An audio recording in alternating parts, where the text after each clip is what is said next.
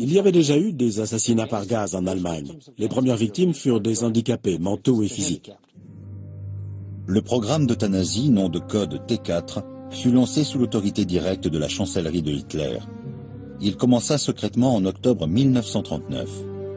Dans chacune des institutions médicales, transformées en centres de tuerie, l'opération fut confiée à des médecins et des officiers de police. Dans le cadre du programme T4, quelques 70 000 malades mentaux furent assassinés dans des établissements psychiatriques entre le début de la guerre et août 1941. Ce programme ne faisait pas partie de la guerre contre les Juifs. Le programme T4 entrait dans le cadre de la vision que les nazis avaient de la race. Pour eux, il y avait non seulement la menace extérieure posée par les Juifs, mais aussi une menace interne qui pesait sur la race en Allemagne, que des Allemands anormaux transmettent des gènes anormaux.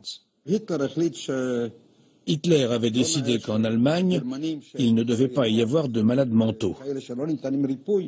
Il a fait exterminer tous ceux qui étaient supposés incurables. Il y avait des dispositifs médicaux. Dès que l'équipe de trois médecins déclarait la personne incurable, elle suivait tout le processus. Ensuite, on l'enfermait dans une pièce et on introduisait du monoxyde de carbone et la personne mourait asphyxiée. Dans le même centre médical, il y avait un four crématoire où on brûlait les cadavres.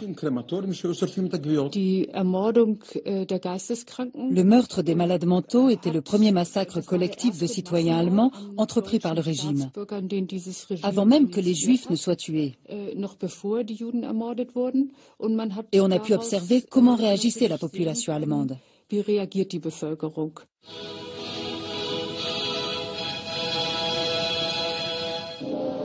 In den letzten 70 Jahren hat sich unser Volk um 50 Prozent vermehrt, während die Zahl der Erbkranken im gleichen Zeitraum um 450 Prozent gestiegen ist.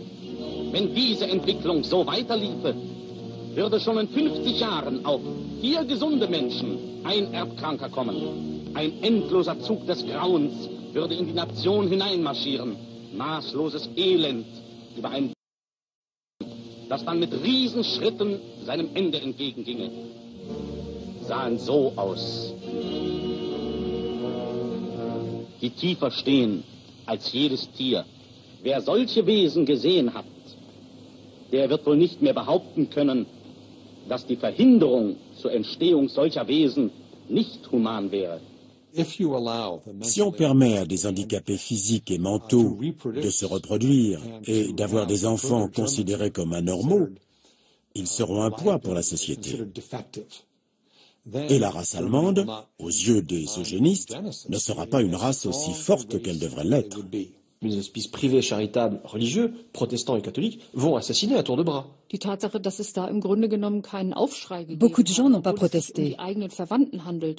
Et le fait que cela n'ait pas provoqué un tollé, bien qu'il s'agissait de leurs parents, ne pouvait être interprété que d'une seule façon.